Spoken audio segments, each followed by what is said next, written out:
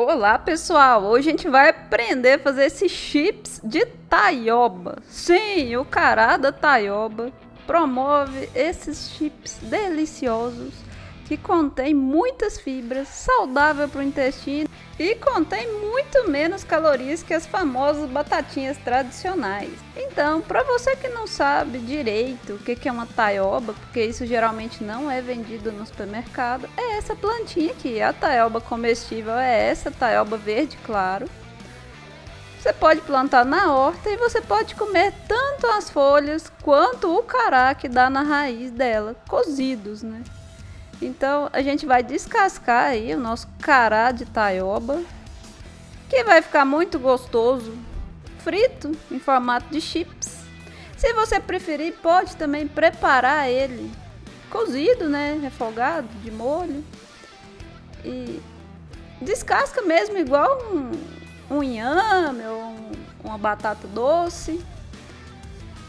Então a gente vai tirar as, as porções pra gente fritar, né? Eu colo... tirei redondinho assim. A taioba é muito rica em fibras. Possui magnésio, manganês, fósforo, ferro, potássio, zinco e vitamina A. Então tem muitos nutrientes importantes para o nosso organismo e poucas pessoas sabiam que tem como comer o cará do taioba. Ela é muito famosa para por suas folhas, né? É, geralmente as pessoas comem as folhas refogadas igual couve. Mas o cará é pouco popular. E o sabor dele é muito gostoso, assim. Assemelha-se a uma batata doce, mas é mais suave. E como vai ter muito menos carboidrato que as batatas comuns, vai ter muito mais fibras e muito mais nutrientes, passa a ser um alimento interessante para a gente adicionar aí no dia a dia.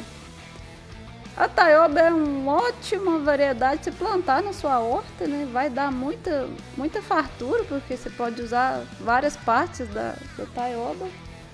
Então eu piquei assim e a gente vai fazer na air fryer. E vamos fazer do jeito saudável. Vamos colocar azeite nessa taioba e vamos misturar. Então você vai falar, ah, mas quanto de azeite? Coloca um tanto que você vê que vai cobrir aí mais ou menos, você vai misturar com os dedos e vai pegar azeite em todos os pedacinhos. Não precisa colocar demais, o azeite ele rende bastante. É só mesmo para ele não grudar a hora que você levar no, no fogo, né? Coloquei um pouquinho de sal, não foi muito. Para essa quantidade aí de taioba, você vai colocar aí uma meia colherzinha de chá. Mas o sal é a gosto, do jeito que você preferir. E eu sempre coloco um pouquinho de cúrcuma, o açafrão da terra que a gente conhece, né? Gosto de colocar cúrcuma porque é anti-inflamatória, né? Apesar de ter muito pouca quantidade, a gente acabar esquentando ela, talvez nem faz tanta diferença assim.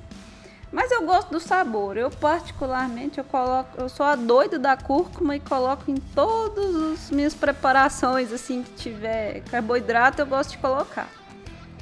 Então você vai misturar bem aí, você pode misturar com a mão mesmo para umedecer e pegar o, o azeite em todos os pedacinhos. E aí você joga aí na airfry.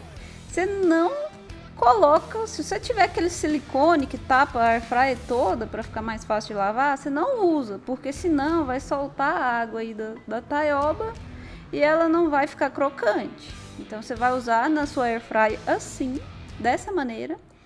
E aí você coloca a 160 graus para dar tempo dela cozinhar ali por dentro, não coloca no máximo.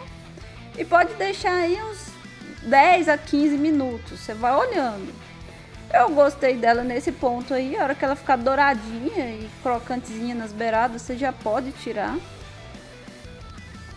Resultado final é esse. Espero que gostem da ideia inovadora do cará de taioba. Eu acho que não tinha nem visto isso na internet ainda.